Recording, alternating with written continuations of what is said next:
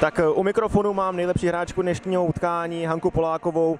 Hanko, druhé domácí utkání, vyhráli jste dneska 8-6. Jaká byla spokojenost s tím dnešním zápasem? No tak za tři body jsme samozřejmě rádi, ale e, za druhou a třetí třetinu určitě být rádi nemůžeme, protože jsme přestali hrát tak dobře, jako jsme hráli tu první třetinu a pak se to mm, projevilo na tom výsledku, měl to být rozhodně větší rozdíl než 8-6. Eh, vedli jste v průběhu zápasu 4-0, jak jste sama říkala, ve druhé, třetí třetině jste si to utkání zkomplikovali. Co se tam stalo? Ztráta koncentrace? Nevím, je, přestali jsme prostě plnit ty pokyny, ne, nehráli jsme to, co umíme hrát, zbytečně jsme začali jančit, lítali jsme nahoru dolů, pak se tam tvořily ty mezery a z toho jsme dostávali zbytečný góly, dělali jsme individuální chyby, um, hráli jsme špatně prostě. Nakonec důležitý tři body. Zatím máte po třech odehraných zápasech eh, v tabulce 6 bodů. Je to spokojenost?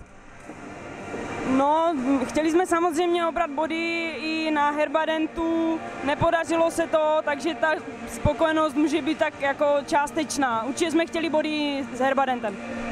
Eh, ty jsi střelil dneska pět gólů. Povedlo se ti to někdy už v rámci Extraligy?